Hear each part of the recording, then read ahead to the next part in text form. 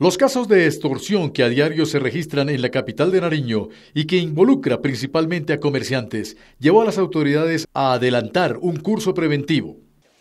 Bueno, en corresponsabilidad con FENALCO y en atención a la época de Sembrina, queremos invitar a comerciantes, empresarios y comunidad en general a que participen del, curso presencial antiextorsión Yo no pago, yo denuncio, el cual se llevará a cabo el día de mañana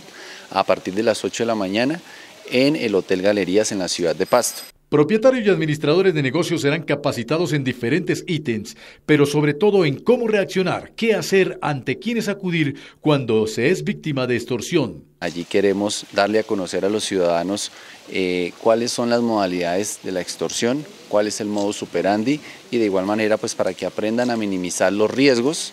frente a este delito.